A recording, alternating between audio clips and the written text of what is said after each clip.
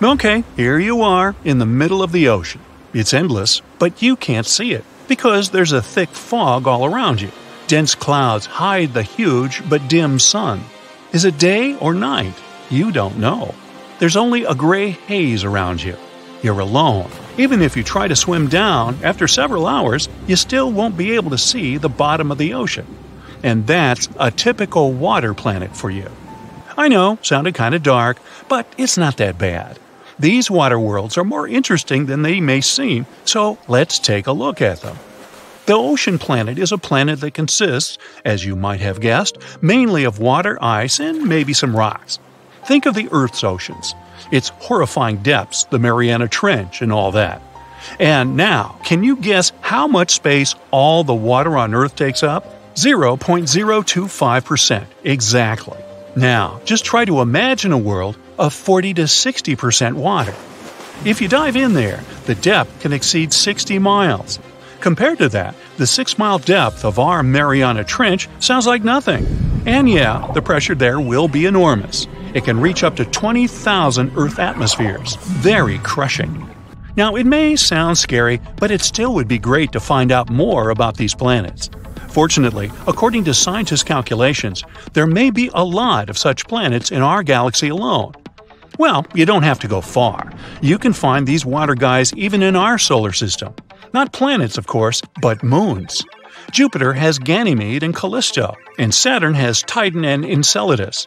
The ocean can reach up to 30% of the mass of these moons, although it isn't clear whether these oceans are covered with a thick crust of ice. But we've discovered quite a few full fledged ocean planets. This is because the conditions in which these planets may exist are very specific. For example, this planet should be somewhere 6 to 8 times larger than the Earth. If it's smaller, it'll have a rocky surface, but if it's bigger, it'll turn into a gas giant. At the same time, it must be in the habitable zone of its star. A little further, and the planet immediately turns into an icy giant or a cold super Earth. So, yeah, these guys are very picky. We first started exploring these planets back in the 1970s. However, since then, we've found only a couple of them, but they're still very interesting. The first planet is Gliese 1214b. It was the very first ocean planet that we discovered. Initially, the scientists noticed only a small dim dot. This dot turned out to be the red dwarf star Gliese 1214, an unremarkable, completely ordinary star that's five times smaller than our Sun and 300 times dimmer.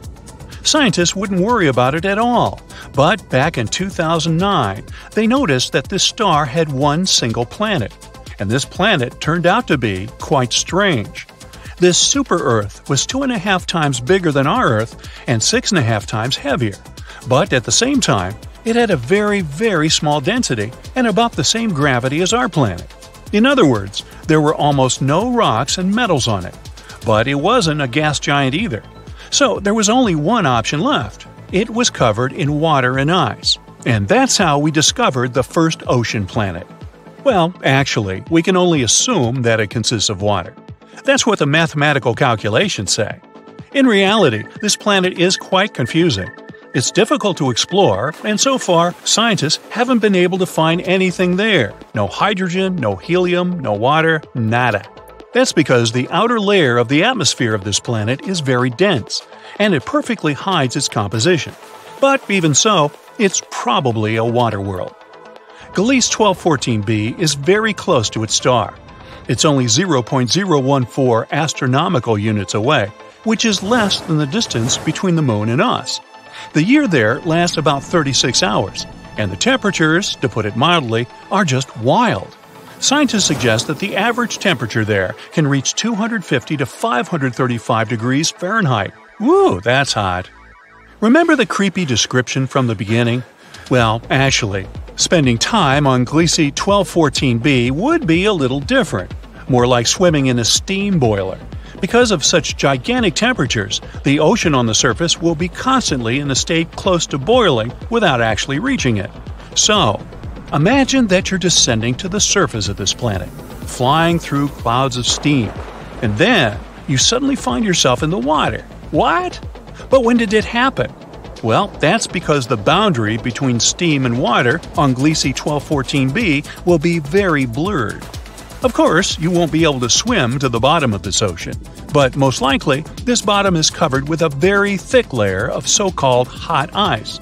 It's like regular ice, but it doesn't really care about the laws of physics, so it just doesn't melt even at gigantic temperatures. And the thickness of this ice can reach as much as 3,000 miles. So that's it for the creepy Gliese 1214b. And not an Airbnb in sight. Now, although we can't 100% guarantee that it's a water world, we still have another candidate for this position a newly discovered planet called TOI 1452b. This planet, located in the Dragon constellation, is almost 100 light years away from us. It was discovered using the TESS telescope by a group of researchers from the University of Montreal. This planet also belongs to the class of super Earths. It's seven times larger than our planet, but 48 times heavier. Again, all this is at a very low density. Because of this, scientists have suggested that almost the entire planet consists of a giant ocean. Here, we were a little luckier. This world won't be just a giant puddle and some thick ice. On this planet, there's probably a rocky surface deep under the water, just like in a typical ocean. Don't get too excited though, this ocean will certainly be very different from what we're used to. TOI 1452b also orbits a small red dwarf, and not even one, but two at once. At the same time, if the previous planet was close to its sun, then this one, on the contrary, is very, very far away. It's two and a half times farther from its stars than Pluto is from the Sun, and it moves at great speed. A year there lasts only 11 days. But we still don't know many things about this planet. We'll probably get some new information when scientists observe it from the James Webb Telescope. Well, that's it. Wait, did you expect something else? Alright, alright, I know the question that bothers you the most. Can there be life? Well, this is a difficult question. We all know that water means life, and besides, these planets are in the habitable zones of their stars. So, potentially, yes, there might be life. Not some full fledged civilizations, of course, but bacteria, fish, and some creepy giant monsters. I mean, you know, why not? However, this is very unlikely. Water alone isn't enough to create life, even though it's very important. There should also be some microelements and some minerals. And unfortunately, for most water planets, the composition will only consist of water and very thick ice. There won't be any minerals there. But don't give up there's still some probability. First of all, there are meteorites and comets. They can bring the necessary minerals to the planet.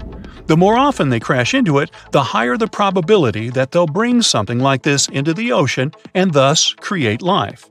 Secondly, TOI 1452b actually has these minerals. Yes, we don't know how deep the rocky bottom is located there. But if it exists, then surely something could have originated there. Let's hope that new research with powerful telescopes will allow us to find out the truth. And who knows? Maybe one day we'll be able to visit such a planet ourselves. Okay, let's try something together. Open any world map you have available. It can be the one you find in your bookcase or even an online version. Take a look at the vast area covered by water. That's 71% of the Earth's surface. And all that is salt water from the world's oceans. There aren't any borders between the four oceans we've all come to know, but oceanographers and the world's countries did traditionally split these waters into four distinct regions the Pacific, Atlantic, Indian, and Arctic Oceans. And here comes the big surprise the scientific community has recently recognized the fifth body of water, it's called the Southern Ocean, and three of the four original oceans border it. It circumnavigates Antarctica and the lower portion of the globe and reaches Australia and the southern portions of Africa and South America. What makes this ocean so special? How did the scientific community eventually recognize it? And more importantly, what mysterious creatures does it hide? Let's find out.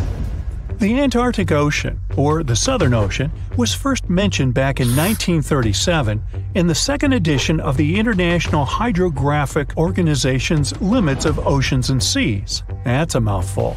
Back then, this organization considered that it was wrong to consider the Antarctic Ocean as its own distinct body of water. Why?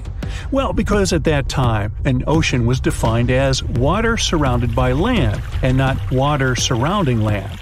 However, they reconsidered it in 2000 and voted to include this ocean in the official list. They also decided on the name Southern Ocean over the commonly used Antarctic Ocean. Finally, the organization concluded that the ocean should be considered as ending at the 60th parallel south latitude. But how old is this ocean? Well, many specialists believe it to have formed only 30 million years ago, which would make it the youngest of the world's oceans. It was created when Antarctica and South America moved away from each other during the early stages of our planet's development. This unique water current is a distinctive component of the Southern Ocean, as it helps keep the waters flowing around the icy continent. It's called the Antarctic Circumpolar Current, and it moves to the east with incredible speed. It's estimated that it moves an enormous amount of water per second. Some of the disputes regarding the Southern Ocean also have to do with this amazing current. Some specialists believe it separates the water of the Southern Ocean from the waters of the nearing Atlantic or Pacific. Only the rapid circulating water is considered the Southern Ocean. On the other hand, though, a handful of scientists say that the current actually makes the naming issue more complex by not limiting the waters to a specific geographic location. They believe that the waters in the current are different in terms of composition from waters in the northern oceans because they are way colder and have a lot more salt. Sailors don't really like this new body of water, mostly because of the frequent cyclone like storms that it experiences. They happen because of the big temperature difference between the ice packs and the ocean waves. As a result, these storms are very difficult to surpass for any sailors that happen to encounter them. I mean, really, these are the strongest winds found anywhere on our planet.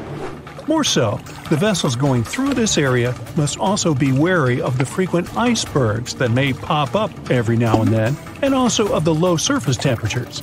Just to paint you a better picture, some of the icebergs found here can span over several hundred meters and can exist all year round, regardless of the season.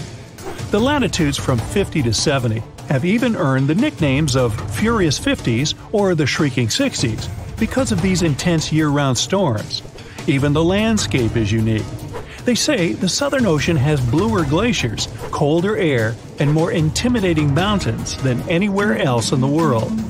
Now, let's get to the mysterious creatures that call this place home, as thousands of species of wildlife live only here and nowhere else in the world.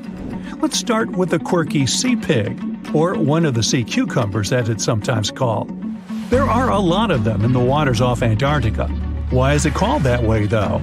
Because of its pink hue and round, bloated looks.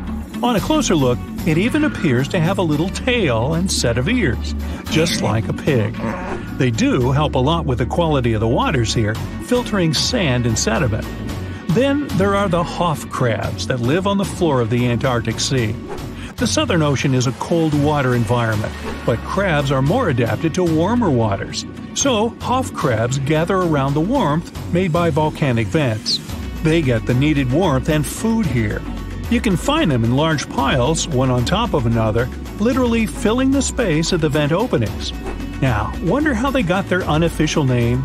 Well, it's because of their apparent similarity to the actor David Hasselhoff whose impressive chest reminded explorers of the crab. Okay. Ever seen a fish that's completely transparent? You'd have to get to these waters down in the south, but they do exist, and they are simply called the ice fish. You can basically see inside them, being completely clear and all. That's because of their see through skin and because they don't have any red blood cells. Their special power is that they can use antifreeze to prevent their bodies from going solid in the cold waters of the Southern Ocean. Instead of the standard thicker blood, the red one with hemoglobin, ice fish have thinner blood that moves around more easily throughout their bodies, hence giving them the much needed nutrients and oxygen. Now, is there a monster hidden in these waters? Some people believe this to be the case, and thanks to recent research, we even have video footage of it. Some Australian researchers stumbled upon a bunch of weird looking creatures that were swimming near the seafloor of the Southern Ocean. This pink blob like fish seemed to be propelled by a little pair of fins. To quote them on it, it seemed to resemble a chicken just before you put it in the oven. I'm not sure I even want to know what that looks like. It took them some time and research to identify the monster. It's a shy species of sea cucumber, known more by its uh, creative nickname, the headless chicken monster. We've known this creature has existed since the late 1800s, but we've barely ever seen it. And we've only ever captured it on tape once before when it was spotted in the Gulf of Mexico, which is quite far from the waters off the coast of East Antarctica.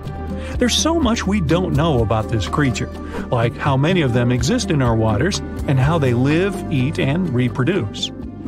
Ever heard of the emperor penguin? It's not a penguin species that just happens to have a crown on its head, if that's what you're thinking. But they are one of those penguins that inhabit this specific location and are also the largest species of their kind altogether. What makes them special is that they make their colonies on the sea ice, and most of them never step foot on land. More so, penguin dads lose almost half their weight while incubating the eggs.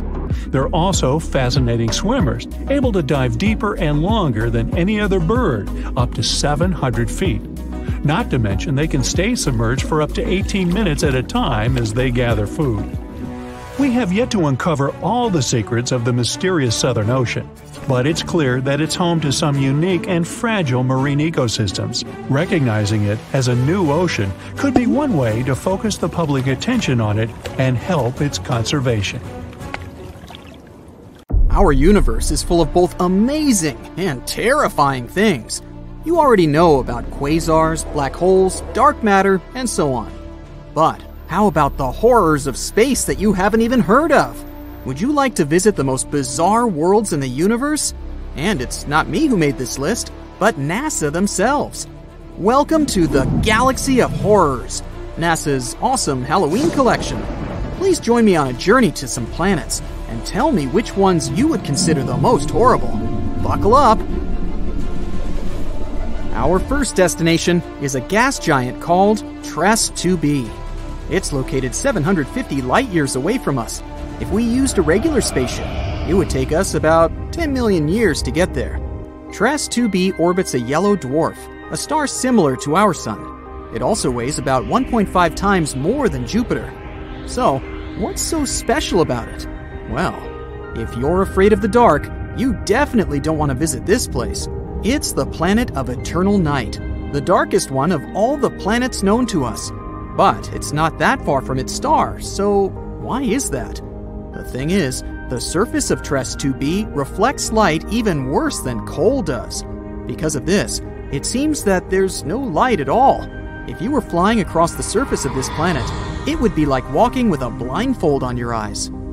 Oh, wait, actually, there is some light. An eerie, deep red glow surrounds the surface of the planet. This glow is created by the burning atmosphere, which makes TRES 2b a scorching planet. The air there is even hotter than lava. Oh, but if you think that was bad, let me show you the next place of our horror journey. NASA wasn't beating about the bush while nicknaming this one. Now, we're not just talking about one planet, but three at once.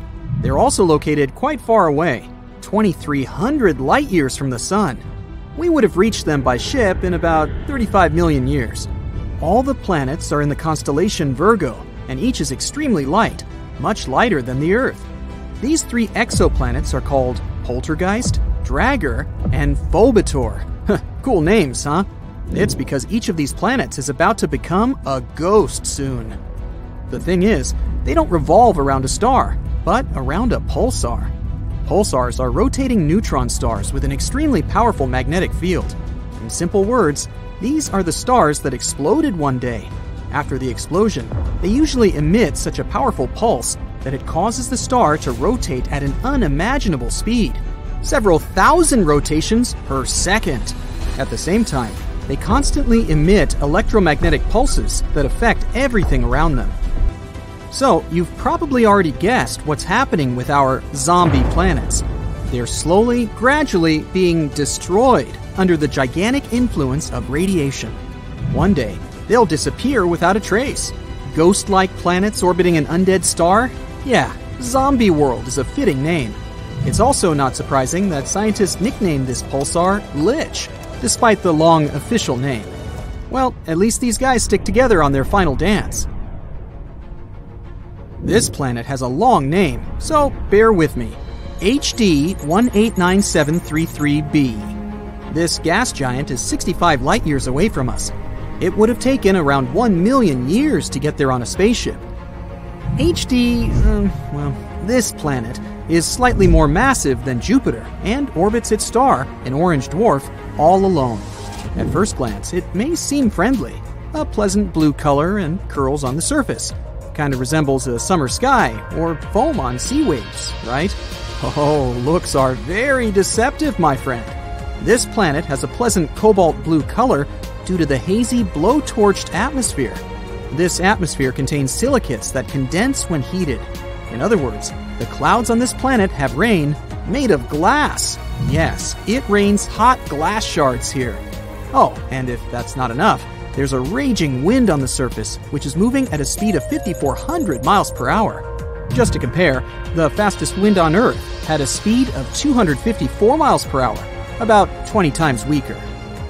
And because of this, hundreds of thousands of glass shards rush horizontally across the planet's surface at breakneck speed. I really don't envy anyone who would want to try to land there. By the way, this isn't the only example of strange rains in our universe. For example, it rains molten iron on the planet Dimidium. Or let's take so called carbon planets. Their existence hasn't yet been proven, but if they do exist, there would be tons of black poisonous clouds, and it would rain pure gasoline and hot liquid asphalt. Oh, and also, raindrops would explode upon touching the surface. Eh, nothing special. The next planet, though, is actually really strange. It didn't just revolve around its star, it lived inside the star. This cosmic miracle is called KOI 55b, or Kepler 70b. This planet is very far away from us 4,000 light years. It would take about 70 million years on a spaceship. It's twice as light as Earth and fully rotates around its star in just a couple of hours. A long time ago, it was an ordinary Earth like planet about the size of Jupiter. It was peacefully and calmly orbiting its red dwarf star, KOI 55. But everything changed about 700 million years ago.